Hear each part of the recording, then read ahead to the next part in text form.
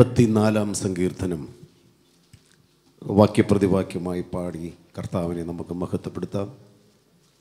നമ്മുടെ ആരാധനയുടെ ഒരു ഭാഗം കൂടിയാണല്ലോ സങ്കീർത്തനങ്ങളാലും സ്തുതികളാലും ആത്മീക ഗീതങ്ങളാലും നമ്മുടെ ദൈവത്തെ മഹത്വപ്പെടുത്തുകയും ധ്യാനിച്ച് പാടി നമുക്ക് നമ്മുടെ ദൈവത്തെ മഹത്വപ്പെടുത്താം. എൺപത്തി നാലാം സങ്കീർത്തനം.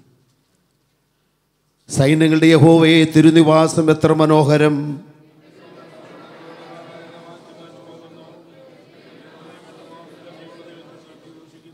കുരികിലൊരു വീടും മീവൽ പക്ഷേ കുഞ്ഞുങ്ങൾക്കൊരു കൂടും കണ്ടെത്തിയിരിക്കുന്നു. എന്റെ രാജാവും എന്റെ ദൈവവുമായ സൈന്യങ്ങളുടെ ഹോവേ നിന്റെ യാഗപീഠങ്ങളെ തന്നെ. ബലം നിന്നിലുള്ള മനുഷ്യൻ ഭാഗ്യവാൻ. ഇങ്ങനെയുള്ളവരുടെ മനസ്സിൽ സിയോനിലേക്കുള്ള പെരുവഴികളുണ്ട്.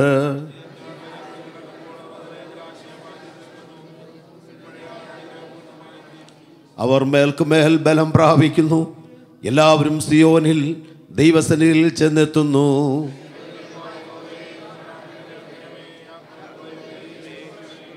ഞങ്ങളുടെ പരിചയമായ ദൈവമേ നോക്കണമേ.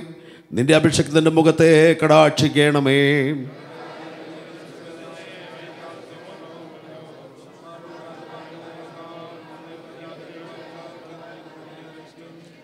അടുത്ത രണ്ട് വാക്യം നമുക്ക് ചേർന്ന് വായിക്കാം. യഹോവയായ ദൈവം സൂര്യനും പരിചയമാകുന്നു. യഹോവ കൃപയും മഹത്വവും നൽകുന്നു. നേരോട് നടക്കുന്നവർക്ക് നന്മയും മുടക്കിയില്ല. സൈന്യങ്ങളുടെ യഹോവേ നിന്നിൽ ആശ്രയിക്കുന്ന മനുഷ്യൻ ഭാഗ്യവാൻ. നമ്മുടെ വിശുദ്ധ കരങ്ങൾ ഉയർത്തി അല്പനേരം നമുക്ക് ദൈവത്തിന് സ്തോത്രം ചെയ്യാം. സ്തോത്രം സ്തോത്രം സ്തോത്രം സ്തോത്രം സ്തോത്രം. കഴിഞ്ഞൊരാഴ്ച മുഴുവൻ കണ്ണിന്റെ കൃഷ്ണമണി പോലെ അവൻ നമ്മെ കാക്കുകയും പരിപാലിക്കുകയും ചെയ്തല്ലോ. നമ്മുടെ എല്ലാ വഴികളിലും നമ്മെ കാക്കുവാൻ അവൻ ദൂതന്മാരെ കൽപ്പിച്ചാക്കിയല്ലോ. നമ്മൾക്ക് ചുറ്റും അവൻ തീമതലായി നിന്ന് നമ്മെ സംരക്ഷിച്ചല്ലോ. നമ്മുടെ തലമുറകളെയും അവൻ സംരക്ഷിച്ചല്ലോ. നമ്മുടെ ജീവനും ഭക്തിക്കും വേണ്ടതെല്ലാം നൽകി തന്ന് നമ്മെ ജോത്സവമായി നടത്തി പരിപാലിച്ചല്ലോ. ദുഷ്ടനായ ശത്രു നമുക്കെതിരെ പല കെണികളും ഒരുക്കിയെങ്കിൽ അതിലൊന്നും അകപ്പെടാതെ വണ്ണം. അവൻ നമുക്ക് ചുറ്റും തീമതിലായി നിന്ന് നമ്മുടെ കുടുംബത്തിന് ചുറ്റും തീമതിലായി നിന്ന് നമ്മുടെ തലമുറകൾ ചുറ്റും തീമതിലായി നിന്ന് അവൻ നമ്മെ പരിപാലിച്ച് സംരക്ഷിച്ച് പോറ്റി പുലർത്തിയതോർത്ത് നന്ദിയോടെ നമുക്ക് അവൻ അല്പനേരം സ്തോത്രം ചെയ്യാം. ഹാലലൂയ ഹാലലൂയ ഹാലലൂയ പരിശുദ്ധനായ ഞങ്ങളുടെ ദൈവമേ സ്വർഗസ്ഥ പിതാവേ ഞങ്ങളുടെ പരിശുദ്ധ നാമത്തെ സ്തുതിക്കുന്നു. നൽകി തന്ന സങ്കീർത്തനത്തിനായി സ്തോത്രം. നല്ല ആരാധന ഞങ്ങൾക്ക് തന്നല്ലോ. എല്ലാറ്റിനായി നന്ദിയോടെ സ്തോത്രം. പ്രാർത്ഥന കേട്ടതോർത്ത് സ്തോത്രം. യേശുവിൻ നാമത്തിൽ തന്നെ. ആമേൻ. നമുക്കെല്ലാവർക്കും ദൈവസന്നിധിയിലിരിക്കാം കർത്താവ് അനുഗ്രഹിക്കുമാറാകട്ടെ. ഈ അനുഗ്രഹിക്കപ്പെട്ട ആരാധനയിൽ ഒരു ഭാഗമാകുവാൻ സർവകൃപാലുവായ ദൈവം എനിക്ക് തന്ന മഹാഭാഗ്യത്തെ ഓർത്ത് ദൈവത്തെ സ്തുതിക്കുന്നു. കടന്നു വന്ന എല്ലാ പ്രിയപ്പെട്ടവർക്കും ഹൃദയത്തിൽ വന്ദനം പറയുന്നു. പ്രത്യേകാൽ ഈ സഭയ്ക്ക് നേതൃത്വം കൊടുക്കുന്ന അനുഗ്രഹീത കർത്തൃദാസൻ pastor Wilson Joseph pastor Roy ഇന്ന് അതിഥികളായി കടന്നു വന്ന കർത്തൃദാസന്മാർ കൊയർ എല്ലാവർക്കും വന്ദനം. ഞാൻ വളരെയധികം ബഹുമാനിക്കുകയും ആദരിക്കുകയും ചെയ്യുന്ന കർത്താവിൽ പ്രസിദ്ധനായ ഇന്ത്യ ബെൻഡക്കോസ് ദൈവസഭയിലെ ഒരു ജനകീയ ശുശ്രൂഷകൻ കർത്തൃദാസന്മാരുടെ കണ്ണുനീരൊപ്പുന്ന ആശ്വാസമായി പ്രവർത്തിക്കുന്ന ഒരു ദൈവദാസനാണ് പാസ്റ്റർ വിൽസൺ ജോസഫ്. അദ്ദേഹത്തെ ഓർത്ത് ഞാൻ ദൈവത്തെ സ്തുതിക്കുന്നു. അദ്ദേഹത്തിന്റെ പിതാവ് എന്റെ അധ്യാപകനായിരുന്നു. ഞാൻ അദ്ദേഹത്തെ ശുശ്രൂഷിച്ചിട്ടുണ്ട്. ഇന്നിവിടെ അദ്ദേഹത്തോട് ഒരുമിച്ച് ആരാധിപ്പാൻ ഭാഗ്യം ലഭിച്ചതോർത്ത് ദൈവത്തെ സ്തുതിക്കുന്നു ഫോണിലൂടെയും ശുശ്രൂഷകളുടെയും പരിചയപ്പെടുകയും ബന്ധപ്പെടുകയും ഒരുമിച്ച് ഒരു ദേശത്ത് കർത്താവിന്റെ മഹത്തുള്ള വിലയിലായിരിക്കുന്ന കർത്താവിന്റെ ദാസൻ ഫാസ്റ്റർ റോയ് വളരെ നിഷ്കളങ്കതയോടെ പരമാർത്ഥതയോടെ ദൈവത്തെ സേവിക്കുകയും ദൈവദാസന്മാരെ സ്നേഹിക്കുകയും വടക്കൻ മേഖലയിൽ അനുഗ്രഹിക്കപ്പെട്ട ഒരു സെന്ററിന് അനേക സഭകൾ രൂപമെടുക്കുവാൻ ആരാധനാലയങ്ങൾ പണിയുവാനൊക്കെ കർത്താവ് ഉപയോഗിച്ച അനുഗ്രഹീത കർത്തൃദാസൻ. ആ ദൈവദാസനെ ഓർത്തും ദൈവത്തെ സ്തുതിക്കുന്നു. ആ രണ്ട് ദൈവദാസന്മാരോടും ചേർന്ന് ആരാധിപ്പാൻ ലഭിച്ച ഭാഗ്യത്തിനായി നന്ദിയോടെ സ്തോത്രം. നാം വായിച്ചതായ സങ്കീർത്തനം എൺപത്തിനാലാം സങ്കീർത്തനമാണ്. കോരകപുത്രന്മാർ ദൈവസന്നിധിയിൽ കടന്നു വന്ന് ദൈവത്തിന്റെ മഹത്വം കണ്ട് ദൈവത്തെ ആരാധിച്ച ഒരു സങ്കീർത്തനമാണ്.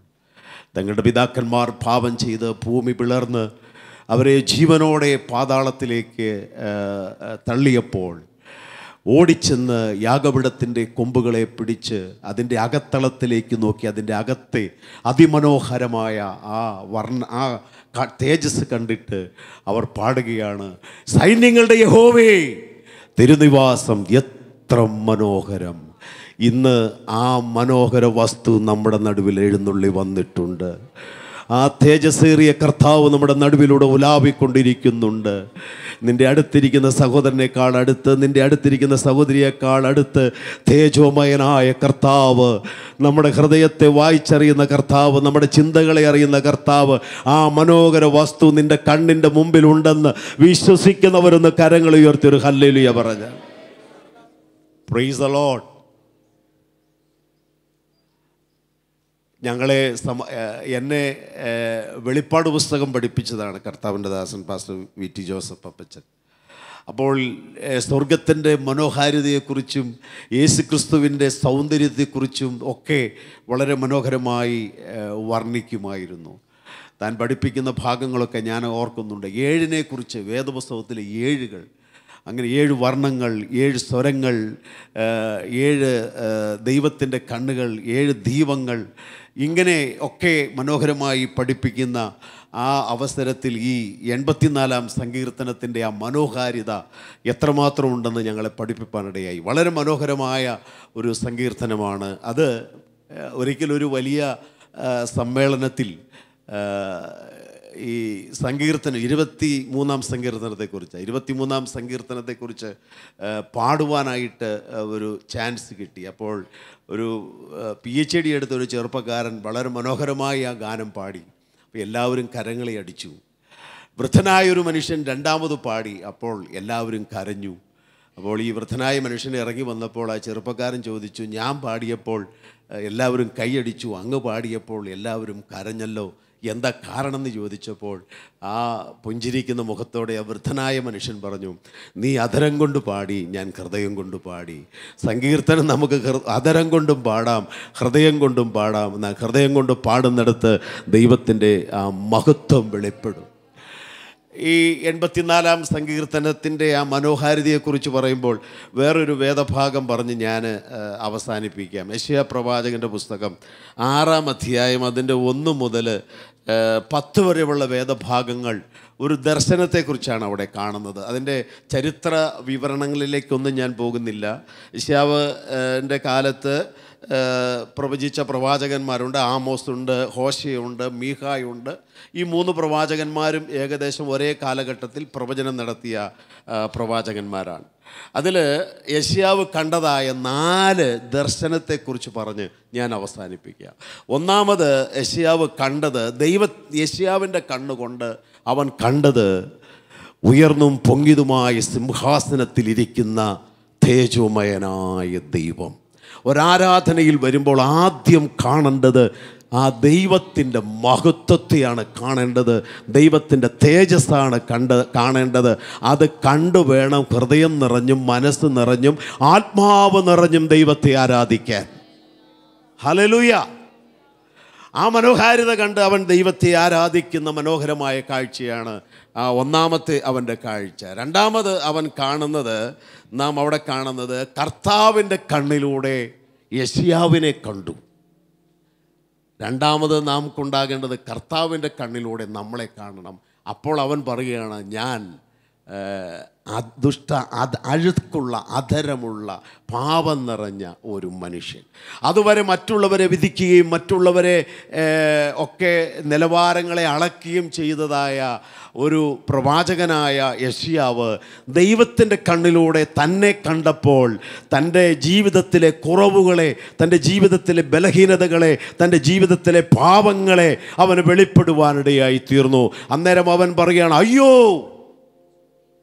ഞാനൊരു പാപിയാണ്. അവന്റെ ജീവിതത്തെ ദൈവസന്നിധിയിൽ സമർപ്പിക്കുവാനിടയായി. മൂന്നാമത് അവൻ കണ്ട കണ്ണ് ദർശനമെന്ന് പറയുന്നത് പാപത്തെ ഏറ്റുപറഞ്ഞപ്പോൾ ഒരു തീക്കനൽ കൊണ്ടുവന്ന് അവന്റെ അതരത്തെ തൊട്ട് അവനെ ശുദ്ധീകരിക്കുന്ന അവനെ വിശുദ്ധീകരിക്കുന്ന ഒരു മനോഹരമായ കാഴ്ചയാണ് അവിടെ യശിയാവ് കണ്ടത്. അപ്പോൾ ദൈവത്തിന്റെ സന്നിധിയിൽ നമ്മുടെ കുറവുകൾ ഏറ്റുപറഞ്ഞ് നമ്മുടെ വീഴ്ചകൾ ഏറ്റുപറഞ്ഞ് നാം ദൈവസ്ഥലിൽ സമർപ്പിക്കപ്പെടുമ്പോൾ അടുത്തത് നമ്മുടെ ജീവിതത്തിൽ നടക്കുന്നത് ഒരു ശുദ്ധീകരണമാണ്.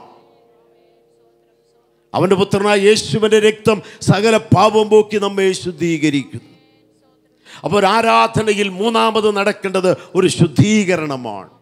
നാലാമത്തെ ഭാഗം പറഞ്ഞ് ഞാൻ അവസാനിപ്പിക്കാം. അങ്ങനെ ശുദ്ധീകരിക്കപ്പെട്ട് കഴിയുമ്പോൾ അടുത്തത് തന്നെക്കുറിച്ചുള്ള ദൈവിക പദ്ധതി എന്തെന്ന് അന്നേരമാണ് വെളിപ്പെടുന്നത്. ഉടനെ യേശുവ പറയുകയാണ് അടിയനെ അയക്കണമേ അടിയൻ പോകാം.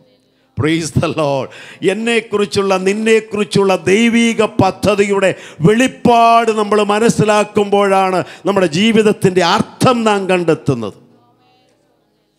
പിശാജ് പറയും നിന്നെക്കുറിച്ചൊരു പ്രയോജനമില്ല നിന്നെ നിന്നെ ദൈവത്തിന് ആവശ്യമില്ല. നിന്നെ സുവിശേഷ വേലിക്കും കൊള്ളത്തില്ല. ഒന്നിനും കൊള്ളത്തില്ലെന്ന് പറയും. പക്ഷേ ദൈവത്തിന്റെ ആത്മാവ് പറയുന്നത് നിന്നെക്കുറിച്ച് ദൈവത്തിന് വലിയ പദ്ധതികളുണ്ട്. നിന്നെക്കുറിച്ച് ദൈവത്തിന് വലിയ പ്ലാനുണ്ട്. ദൈവത്തിന് നിന്നെ ഉപയോഗിക്കേണ്ടതായിട്ടുണ്ട്. ഇന്ന് ഈ ആരാധനയിൽ നീ ദൈവത്തിന്റെ സന്നിധിയിൽ പ്രയോജനപ്പെടുവാൻ തക്കവണ്ണം ഏൽപ്പിക്കപ്പെടണമെന്ന് ഒരു ദൈവദാസൻ എന്ന നിലയിൽ ഞാൻ നിങ്ങളെ ഓർപ്പിക്കുന്നു.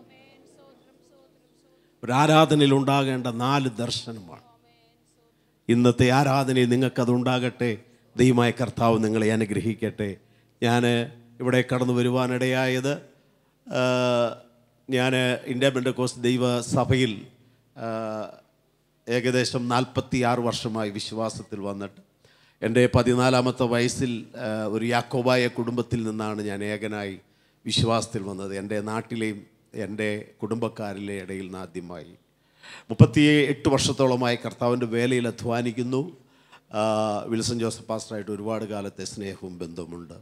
എനിക്കിങ്ങനെ അവസരം തരികയും ശുശ്രൂഷിക്കാൻ അവസരം തരികയും ചെയ്ത എല്ലാ പ്രിയപ്പെട്ടവരോടും ഞാൻ നന്ദി പറയുന്നു. ദൈവദാസന്മാരോടും നന്ദി പറയുന്നു. എനിക്ക് ധാരാളം കുറേ സമയം കൂടി തന്നിട്ടുണ്ടെങ്കിലും ദൈവദാസന്മാരുടെ പ്രയാസം എനിക്കറിയാവുന്നതുകൊണ്ട് ഞാൻ എന്റെ വാക്കുകൾ വിരമിക്കുന്നു. എനിക്ക് അവസരം തന്ന ദൈവദാസനോട് നന്ദി പറയുന്നു. കർത്താവ് അനുഗ്രഹിക്കുമാറാകട്ടെ. God bless you